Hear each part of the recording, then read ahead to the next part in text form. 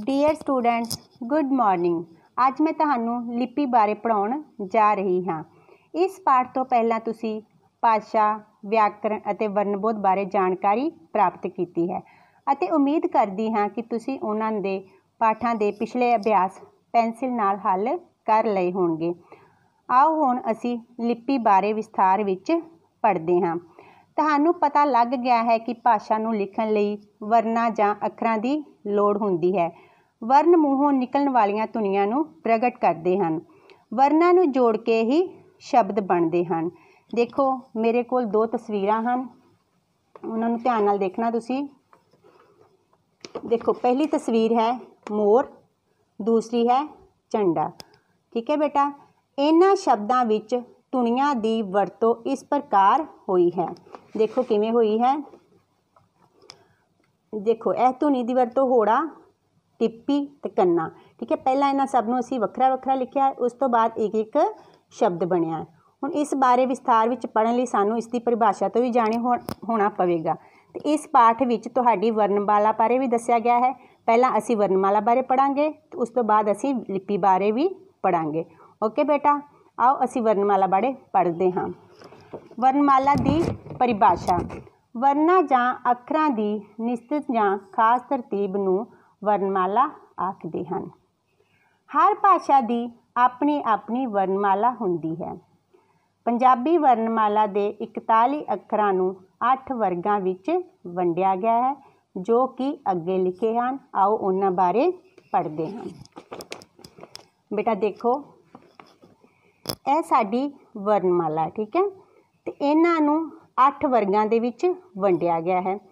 ਇਸ ਨੂੰ ਵਰਗ ਵੀ ਕਹਿ ਸਕਦੇ ਹਾਂ ਤੇ ਟੋਲੀ ਵੀ ਕਹਿ ਸਕਦੇ ਹਾਂ, ਠੀਕ ਹੈ? ਕਈ ਕਿਤਾਬਾਂ ਦੇ ਵਿੱਚ ਵਰਗ ਲਿਖਿਆ ਹੋਇਆ ਹੈ ਤੇ ਕਈਆਂ ਦੇ ਵਿੱਚ ਟੋਲੀ ਲਿਖਿਆ ਹੋਇਆ ਹੈ। ਇਸ ਕਰਕੇ ਤੁਸੀਂ ਕਨਫਿਊਜ਼ ਨਹੀਂ ਹੋਣਾ। ਓਕੇ ਬੇਟਾ ਆਪ ਸਭ ਤੋਂ ਪਹਿਲਾਂ ਦੇਖਦੇ ਹਾਂ ਮੁੱਖ ਵਰਗ ਕੀ ਹੁੰਦਾ। ਮੁੱਖ ਵਰਗ, ਠੀਕ ਹੈ? ਊੜੇ ਐੜੇ ਦੀ ਪਹਿਲੀ ਲਾਈਨ ਨੂੰ ਮੁੱਖ ਵਰਗ ਕਿਹਾ ਜਾਂਦਾ ਹੈ। ਓਕੇ ਦੇਖੋ, ਮੁੱਖ ਵਰਗ ਊੜਾ, ਐੜਾ, ਈੜੀ, ਸੱਸਾ, ਹਾਹਾ। ਕਵਰਗ, ਕੱਕਾ, ਖੱਖਾ, ਗੱਗਾ, ਘੱਗਾ ਗੰਗਾ ਬੇਟਾ, ਇਸੇ ਤਰ੍ਹਾਂ ਅੱਗੇ ਦੇਖੋ, ਚਵਰਗ ਵਾਲੀ ਲਾਈਨ, ਟਵਰਗ ਟਵਰਗ ਤੇ ਪਵਰਗ, ਠੀਕ ਹੈ? ਉਸ ਤੋਂ ਬਾਅਦ ਦੇਖੋ, ਅੰਤਮ ਵਰਗ। ਅੰਤਮ ਵਰਗ ਇਸ ਨੂੰ ਕਿਉਂ ਕਿਹਾ ਗਿਆ? ਹੈ ਕਿਉਂਕਿ ਪਹਿਲਾ ਵਰਣਮਾਲਾ ਜਿਹੜੀ ਸੀ, ਊੜੇ ਤੋਂ ਲੈ ਕੇ ਡਾੜੇ ਤੱਕ, ਆਖਰੀ ਲਾਈਨ ਸਾਡੀ ਇਹੀ ਹੁੰਦੀ ਸੀ, ਅੰਤਮ ਲਾਈਨ, ਠੀਕ ਹੈ?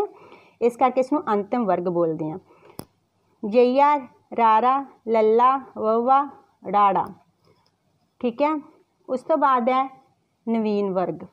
ਨਵੀਨ ਮਤਲਬ ਨਵੀਂ ਟੋਲੀ ਨਵਾਂ ਵਰਗ ਠੀਕ ਹੈ ਇਹ ਜਿਹੜੇ 6 ਅੱਖਰ ਆ ਇਹ ਨਵੀਂ ਟੋਲੀ ਦੇ ਆ ਸੱਸੇ ਪੈਰ ਬਿੰਦੀ ਸ਼ ਬੋਲੇ ਖੱਖੇ ਪੈਰ ਬਿੰਦੀ ਖ ਬੋਲੇ ਗੱਗੇ ਪੈਰ ਬਿੰਦੀ ਗ ਬੋਲੇ ਜਿੱਜੇ ਪੈਰ ਬਿੰਦੀ ਜ਼ ਬੋਲੇ ਫੱਫੇ ਪੈਰ ਬਿੰਦੀ ਫ ਬੋਲੇ ਲੱਲੇ ਪੈਰ ਬਿੰਦੀ ਲ ਬੋਲੇ ਓਕੇ ਬੇਟਾ ਉਸ ਤੋਂ ਬਾਅਦ ਦੇਖੋ ਲਿਪੀ ਕਿ ਕਿਸੇ ਵੀ ਭਾਸ਼ਾ ਦੀ ਕੋਈ ਨਾ ਕੋਈ ਲਿਪੀ ਜ਼ਰੂਰ ਹੁੰਦੀ ਹੈ ਤੇ ਲਿਖਤੀ ਭਾਸ਼ਾ ਦਾ ਆਧਾਰ ਜਿਹੜਾ ਲਿਪੀ ਹੀ ਬੇਟਾ ਹੁੰਦੀ ਹੈ। ਦੇਖੋ ਇਸ ਦੀ ਪਰਿਭਾਸ਼ਾ। ਭਾਸ਼ਾ ਦੀਆਂ ਧੁਨੀਆਂ ਨੂੰ ਲਿਖਤੀ ਰੂਪ ਵਿੱਚ ਪ੍ਰਗਟ ਕਰਨ ਲਈ ਵਰਤੇ ਜਾਣ ਵਾਲੇ ਸਾਰੇ ਚਿੰਨ੍ਹਾਂ ਨੂੰ ਲਿਪੀ ਆਖਦੇ ਹਨ। ਓਕੇ ਬੇਟਾ, ਪੰਜਾਬੀ ਭਾਸ਼ਾ ਦੀ ਲਿਪੀ ਗੁਰਮੁਖੀ ਲਿਪੀ ਹੈ, ਠੀਕ ਹੈ? ਇਸੇ ਤਰ੍ਹਾਂ ਹੀ ਹਿੰਦੀ ਭਾਸ਼ਾ ਦੀ ਵੀ ਲਿਪੀ ਹੈ, ਦੇਵਨਾਗਰੀ ਅੰਗਰੇਜ਼ੀ ਭਾਸ਼ਾ ਦੀ ਵੀ ਲਿਪੀ ਹੈ, ਰੋਮਨ, ਠੀਕ ਹੈ? ਹੁਣ ਦੇਖੋ, ਊੜੇ ਤੋਂ ਰਾੜੇ ਤੱਕ। ਕੁੱਲ 35 ਅੱਖਰ ਹੁੰਦੇ ਆ, ਠੀਕ ਹੈ? ਇਸ ਕਰਕੇ ਇਸ ਨੂੰ ਪਹਿਲਾਂ 35 ਕਹਿੰਦੇ ਸਨ। ਦੇਖੋ, ਜਿਵੇਂ ਤੁਸੀਂ ਵਰਣਮਾਲਾ ਵਿੱਚ ਪੜਿਆ ਹੈ ਕਿ ਊੜੇ ਤੋਂ ਲੈ ਕੇ ਰਾੜੇ ਤੱਕ ਇਹਨਾਂ ਦੀ ਗਿਣਤੀ 35 ਸੀ, ਇਸ ਕਰਕੇ ਇਸ ਨੂੰ 35 ਕਿਹਾ ਜਾਂਦਾ ਸੀ। ਠੀਕ ਹੈ ਬੇਟਾ? ਉਸ ਤੋਂ ਬਾਅਦ ਇਸ ਵਿੱਚ ਅਰਬੀ ਫਾਰਸੀ ਧੁਨੀਆਂ ਦੇ ਕੁਝ ਅੱਖਰ ਲਏ ਗਏ। ਇਹ ਵਾਲੇ 6 ਅੱਖਰ ਲਏ ਗਏ ਸਨ, ਠੀਕ ਹੈ? ਤੇ ਹੁਣ ਇਹਨਾਂ ਦੀ ਗਿਣਤੀ 41 ਹੋ ਗਈ ਹੈ। ਠੀਕ ਹੈ? ਹੁਣ ਵਰਣਮਾਲਾ ਦੀ ਗਿਣਤੀ ਕਿੰਨੀ ਹੈ?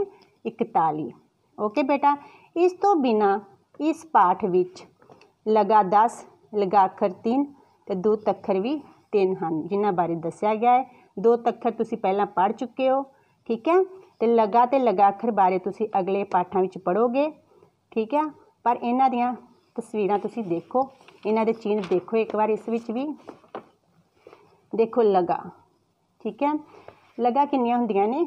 10 ਦੇਖੋ ਇਹ 10 ਲਗਾ ਦਿੱਤੀਆਂ ਹੋਈਆਂ ਨੇ। ਪਹਿਲੀ ਹੈ ਮੁਕਤਾ ਉਸ ਦਾ ਕੋਈ ਚਿੰਨ੍ਹ ਨਹੀਂ ਹੁੰਦਾ। ਕੰਨਾ ਕੰਨਾ ਦਾ ਚਿੰਨ੍ਹ ਦੇਖੋ। ਸਿਹਾਰੀ, ਬਿਹਾਰੀ, ਔਂਕੜ, ਦੁਲੈਂਕੜ, ਲਾਂ, ਦੁਲਾਵਾਂ, ਹੋੜਾ ਤੇ ਕਨੌੜਾ। ਠੀਕ ਹੈ ਬੇਟਾ? ਇਸ ਦੇ ਨਾਲ ਹੀ ਇਸ ਵਿੱਚ ਲਗਾਕਾਰ ਬਾਰੇ ਦੱਸਿਆ ਗਿਆ ਹੋਇਆ ਹੈ। ਤੋ ਬਿੰਦੀ ਟਿੱਪੀ ਅਦਕ ਤਿੰਨ ਲਗਾਖਰ ਹੁੰਦੇ ਨੇ। ਦੋ ਤੱਖਰ, ਹਾਹਾ, ਰਾਰਾ ਤੇ ਵਵਾ। ਇਹ ਇਹਨਾਂ ਦੇ ਚੀਨਿਆਂ ਜੋ ਅੱਖਰਾਂ ਦੇ ਪੈਰਾਂ ਵਿੱਚ ਲਗਾਏ ਜਾਂਦੇ ਹਨ। ਓਕੇ ਬੇਟਾ, ਇਸ ਦੇ ਨਾਲ ਸਾਡਾ ਪਾਠ, ਲਿਪੀ ਖਤਮ ਹੁੰਦਾ ਹੈ ਤੇ ਉਮੀਦ ਕਰਦੇ ਹਾਂ ਕਿ ਤੁਹਾਨੂੰ ਇਸ ਬਾਰੇ ਭਰਪੂਰ ਜਾਣਕਾਰੀ ਮਿਲ ਗਈ ਹੋਵੇਗੀ। ਤੇ ਹੁਣ ਤੁਸੀਂ ਸਭ ਨੇ ਇਸ ਪਾਠ ਨੂੰ ਚੰਗੀ ਤਰ੍ਹਾਂ ਪੜ੍ਹਨਾ, ਸਮਝਣਾ ਤੇ ਇਸ ਵੀਡੀਓ ਨੂੰ ਧਿਆਨ ਨਾਲ ਦੇਖਣਾ ਹੈ ਤੇ ਇਸ ਨਾਲ ਸੰਬੰਧਿਤ ਜੋ ਵੀ ਅਭਿਆਸ ਹਨ ਉਹਨਾਂ ਨੂੰ ਆਪਣੀ ਪੈਨਸਲ ਨਾਲ ਹੱਲ ਕਰਨਾ ਹੈ। ਧੰਨਵਾਦ ਬੇਟਾ।